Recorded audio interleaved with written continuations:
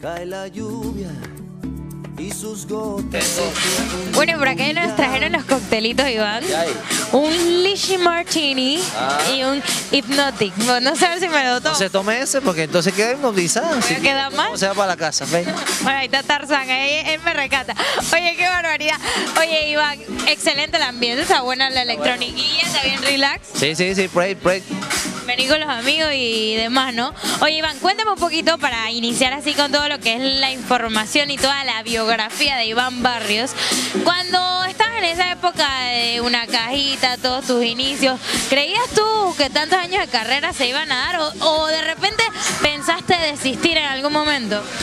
Bueno, eso no ha pasado por mi mente, creo. eh, siempre que, pega una canción me, alegra mucho y me motiva a crear otra mejor.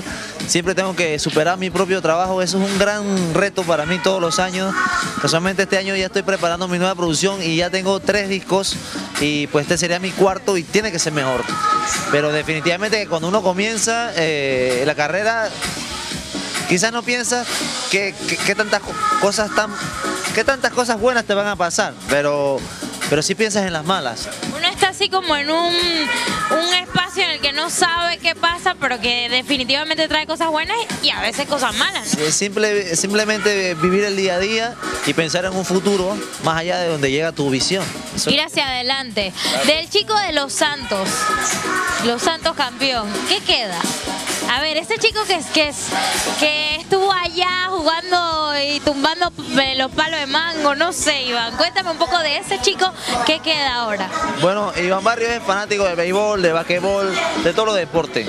En especial el béisbol, yo soñaba con ser grande liga, hoy día pues dedico a la música, pero bueno, La de Liga de la Música. Tengo, tengo en PlayStation, tengo grandes ligas, así que por lo menos juego videojuegos en béisbol. Y pues ya sabemos que los Santos va a ser campeón este año otra vez. Ojalá, ojalá. Eh, Vamos por ahí, por la ruta. Y bueno, no sé, Iván, más o menos de, de- de ese pelado que venía acá, oye, que tengo mi disquito, joda, ya no queda casi nada de ese acento santeño, pero, pero de repente. ¿cuáles las cosas, esas cosas que tú dejaste atrás, qué queda de repente todavía en ti? Eh, cada vez que salgo al interior, a, a mi casa, mis amigos, el- veo la escuela, veo la- los billares, los bares donde yo estaba, me da nostalgia y me siento así como, ¡ah! como me siento como donde uno. Oye, ahí hay bastante onda rockera, Iván. ¿Por qué tú crees que pasa eso allá?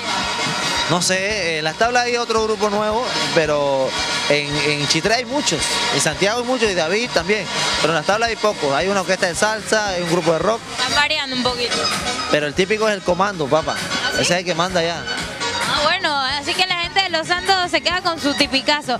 Iván, cuéntame también un poquito de, por ejemplo, cuando llegaste a Panamá, ¿qué fue lo más difícil?